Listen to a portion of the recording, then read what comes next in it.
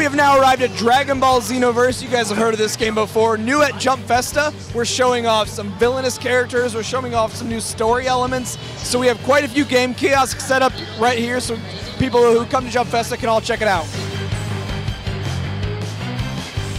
We just announced some brand new features for Dragon Ball Xenoverse. Could you tell us a little bit about them?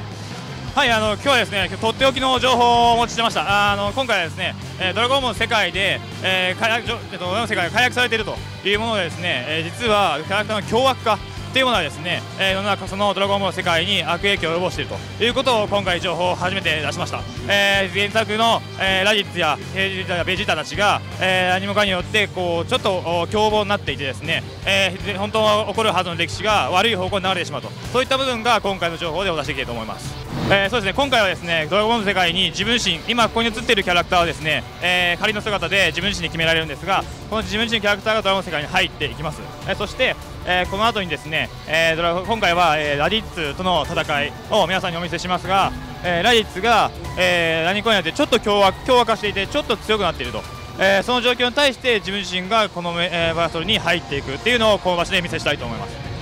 えー、ここまでは基本的には、えー、いつものドラゴンボールの世界いつものドラゴンボールのストーリーの、えー、再現になっているかなという思いますが、えー、ライツがここが途中でですね、えー、ちょっと強くなるというシーンになっています。えー、まずそもそもこのドラゴンボールのこのムービーシーンもですねやっぱプレイステーション4、Xbox One によってあの非常にハイクオリティであのできていると思うんですけども、えー、ここからですね、えー、本来であればですねラディッツはえー、打ち抜かれてしまうある程度ハリスがですね、えーと、ご飯に、えー、突進されてですねご飯がぶつかってくるんですけども、えー、原作では本当はそうなっているんです。しかしこのゲームではちょっと強くなってしまったラディッツが、えー、このご飯の攻撃をこうやって避けてしまう。おお こんなありえないことが起こってしまったところに、自分自身が入り込んでいくという流れになっています。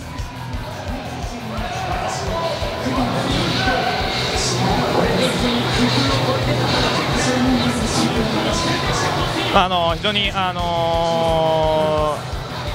ー、これはですね人間でもあるしナメック星人でもいけるし、まあ、人人族でもいけるし、えー、自分の決めたキャラクターでこの墓に入っていくことができるというところが今回のゲームの非常にあの面白いポイントかなというふうに思ってます。So there's a lot of new things in Dragon Ball Xenoverse. There's the villainous characters. There's the new char- the other characters that you guys have added. Do you guys uh, interface? Do you guys talk with Toriyama-san, the Dragon Ball creator, um, about these new features?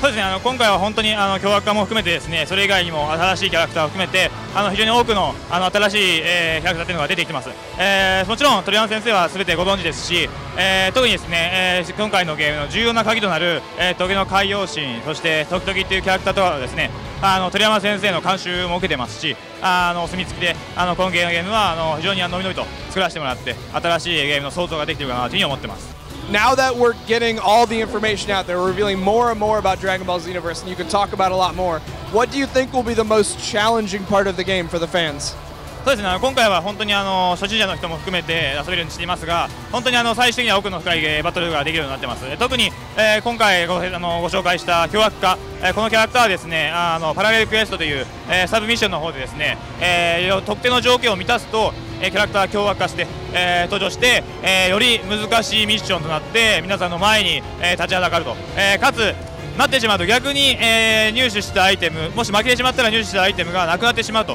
いうようなですねすごいリスクのあるかつドキドキするようなバトルっていうのも入ってますのでそういった、えー、とモードですねそういったミッションにもあのぜひぜひ皆さんチャレンジしてもらってあの遊び尽くしてほしいなというふうに思ってます。So the, the final question is while you're in the office, you're working hard on Dragon Ball Xenoverse, the days are getting long, or releasing soon. Do you eventually have to go Super Saiyan to get the job done? Oh, yes, of course. Ah!